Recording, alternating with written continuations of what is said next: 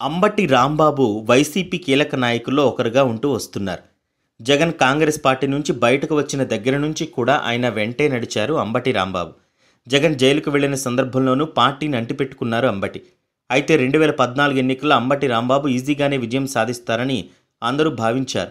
కానీ కోడెల శివప్రసాదరావు చేతిలో ఓడిపోయారాయన. అయినప్పటికీ కూడా ఎక్కడా కూడా తన మనోధైర్యాన్ని కోల్పోయింది లేదు.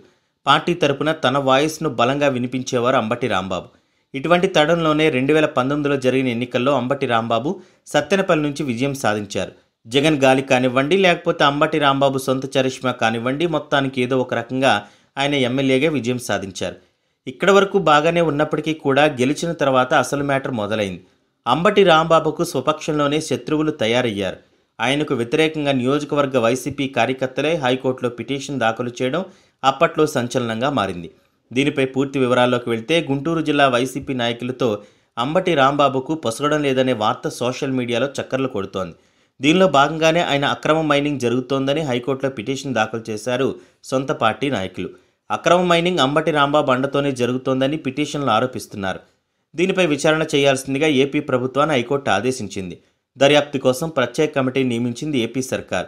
సత్తెనపల్లిలో అక్రమ మైనింగ్ జరిగిందని గుర్తించామని ఏపీ ప్రభుత్వం హైకోర్టుకు తెలిపింది. అక్రమ మైనింగ్కు పాల్పడిన వారిపై ఏం చర్యలు తీసుకున్నారని హైకోర్టు ప్రశ్నించింది. క్రిమినల్ కేసులు నమోదు చేశామని ప్రభుత్వ న్యాయవాది కోర్టుకు తెలిపారు. అక్రమ మైనింగ్ నిజమేనని చెప్పడంతో అంబటి రాంబాబుకు షాక్ తగిలినట్లయింది. ఈ కేసులో అంబటి రాంబాబును ఇరికించే ప్రయత్నాలు చేస్తున్నట్లు ఆయన అనుచర వర్గం అంటుంది. సొంత పార్టీ నుండే అంబటి రాంబాబుకి ఇలాంటి ఇబ్బందులు ఎదురు కావడంతో ఆయన కంగు తిన్నారట. ఇప్పటి వరకు అయితే జగన్కు భజన తప్ప వ్యతిరేకంగా ఒక్క మాట్లాడలేదు అంబటి రాంబాబు. అలాంటిది ఆయనకు ఉచ్చు బిగించడం ఏమిటో అర్థం కావటం లేదంటున్నారు అంబటి అనుచరులు.